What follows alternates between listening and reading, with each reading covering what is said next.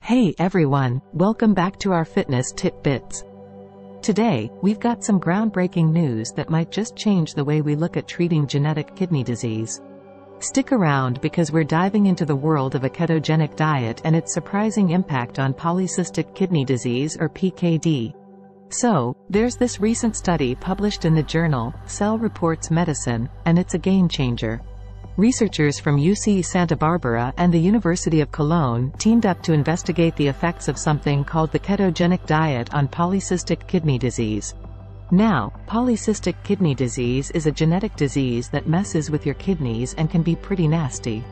But this study might just have uncovered a secret weapon against it. Now, if you have polycystic kidney disease, you probably heard it's a genetic thing. And no matter what you do, things just get worse. Well, that's what the scientists wanted to challenge. They recruited 66 polycystic kidney disease patients and divided them into three groups. One got the usual counseling, the second did a three-day water fast every month, and the third jumped on the ketogenic diet train.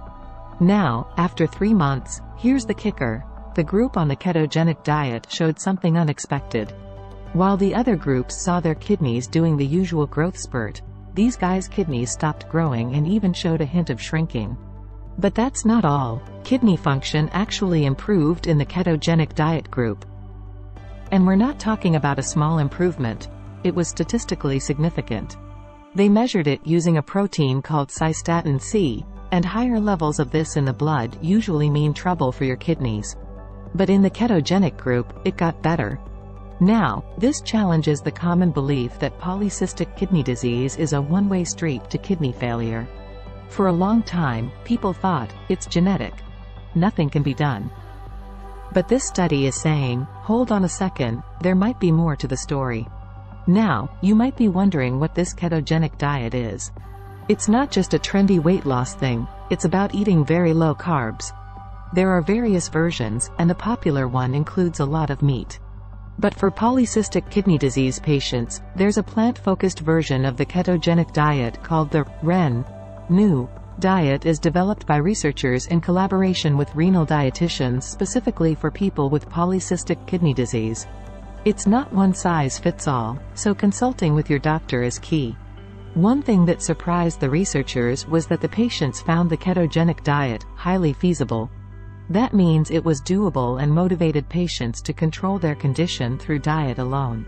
It's a big deal because often, doctors think patients won't stick to a diet but here it turns out they were eager to make a change. Now, here's the behind-the-scenes scoop.